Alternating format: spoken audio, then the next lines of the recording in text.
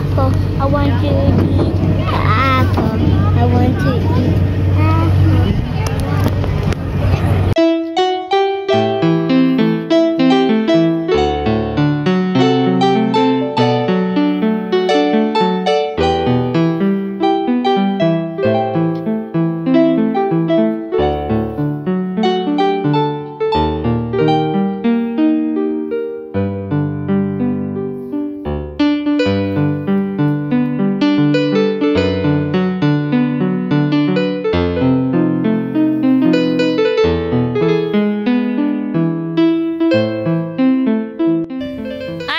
everyone! Magandang hapon, magandang umaga, magandang gabi po sa inyong lahat kahit saang sulok man kayo ng mundo.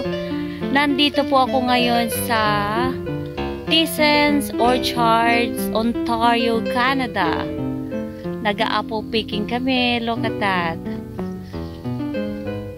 Hi! Sarap ng buhay, napakaganda, di po ba? Yan. Gusto ko lamang pong i-share sa inyo ang opportunity na natagpuan ko few months ago. Kayo po ba ay naghahanap ng isang business or extra income beside your salary? Yung sa bahay lang nagtatrabaho. Pakinggan niyo po ang aking maigsing kwento. Nga pala si Maribel Sumaliling, nagtatrabaho sa isang car parts company dito sa Ontario, Canada as a quality inspector. Ngayon ay isa na akong digital business owner.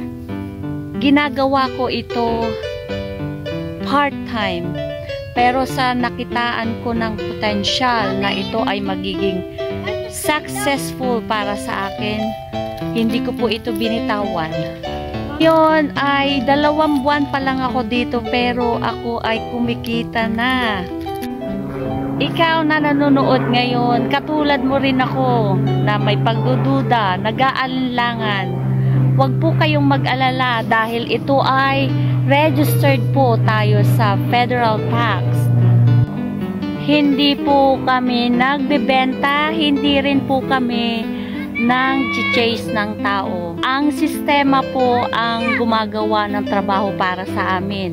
At ito po ay running in the background kahit saan ka magpunta, kahit ikaw ay natutulog. Ikaw ay may malaking pangarap sa iyong mahal sa buhay. Subukan mo, silipin mo itong business na ito. Baka ito ay para sa iyo at ito ang makapagpabago sa iyong buhay forever at makatulong sa iyong pamilya. Okay, let's go. Kung ikaw ay interesado, i-message mo lang ako at i-guide kita step by step. Yun lamang po. Bye for now mga kabayan. See you in the inside. Bye! This is my son. You say hi. Are you happy? Hi. Are you happy? Yeah. Yes! Siya po ang aking anak. Sobrang saya niya. Okay. See you. You say hi. Hi. Bye. Bye. Bye for now, kabayan. See you in the inside.